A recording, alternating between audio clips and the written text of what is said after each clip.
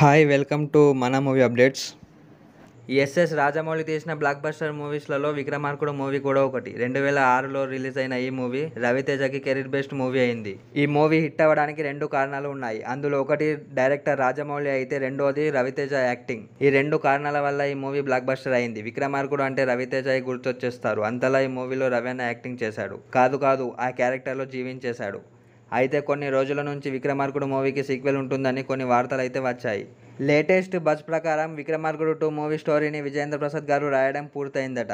ఈ మూవీకి సెట్ అయ్యే క్యాస్ట్ దొరకగానే విక్రమార్కుడు టూ మూవీని సెట్స్ మీదకి తీసుకెళ్తారని తెలుస్తుంది. ఈ బ్లాక్ బస్టర్ సీక్వెల్ని ఏ హీరో చేస్తే బాగుంటుందో కింద కమెంట్ చేయండి ఫ్రెండ్స్. అలాగే ఈ వీడియో కనుక మీకు నచ్చినట్లయితే ఈ వీడియోకి ఒక లైక్ చేసి ఇలాంటి ఇంకెన్నో మూవీ అప్డేట్స్ కోసం ఇప్పుడే నా ఛానల్ని సబ్స్క్రైబ్ చేయండి.